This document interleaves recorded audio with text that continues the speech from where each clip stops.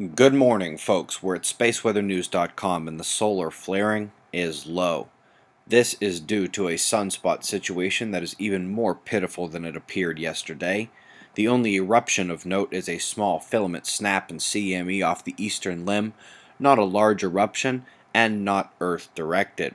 The top eruption threats are actually plasma filaments. Got them coming in on both the north and the south. These will be in position to become geo-effective by tonight. Jumping over to the solar wind to see the speed in yellow finally dropping out. The magnetic disruption from this solar wind intensity was much more than expected, and the weakening of the magnetosphere is my best possible explanation. We've now seen larger than expected effects from moderate to minor solar activity quite a few times. If you haven't caught up on how our systems are changing, check out magneticreversal.org, linked below. We have an equatorial coronal hole coming in, the dark blotch seen here in 211 angstroms. It's not terribly large or strong, but combined with the four-way lineup of Mars, Mercury, Earth, and Pluto, we may see some increased seismicity in the coming days. Thus far, we have seen only some Earth spots and moderate upticks in unusual locations. For example, out of the 10 earthquakes to hit this area of the southern Middle East in the last 30 days, Six of them happened yesterday. Another interesting feature to this earthquake is one of the strangest pressure patterns I've seen in a while.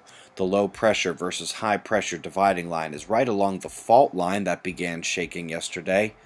One side gets a good push down, the other has pressure alleviated from it. After yesterday's remarks about the volcano and nearby Earth spot, we indeed have more quakes building in Mexico.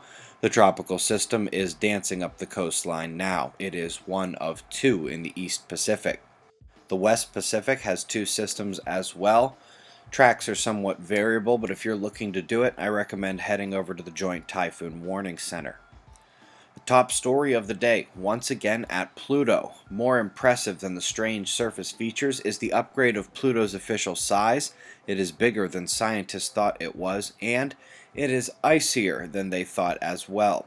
They thought it was 75% water ice. Turns out the ice ball is a bit more pure. Next story comes from the chemistry world. Two carbons, two oxygens. A flurry of incredible claims about the possibilities for the future and a pretty good story about how they got there. I was going through the Ceres gallery yesterday and noticed that the bright spots are not the only color and brightness based anomalies to be seen. Perhaps the famous bright spots are merely clustered versions of what can be seen more widely spread. We'll keep our eyes on it. Coming to a tropical storm named off the east coast of the U.S., which will hit eastern Canada soon. But until then, the story is on land. The energy coming north from the Gulf is dropping terrible storms along the convergence lines and will do so again tonight. The southern air meets a wall from the north, and they have a bit of equilibrium to find between them. Major windstorms and tornadoes are possible, with lightning and flooding a certainty for millions of people. Same area in Europe under the gun if the pressure doesn't move. Neither will the storm clouds and rain, and it will continue coming east as well.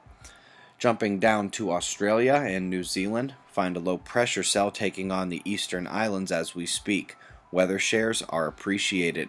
We've got your current conditions and shots of our star to close at 6:30 a.m. Eastern Time and that's the news.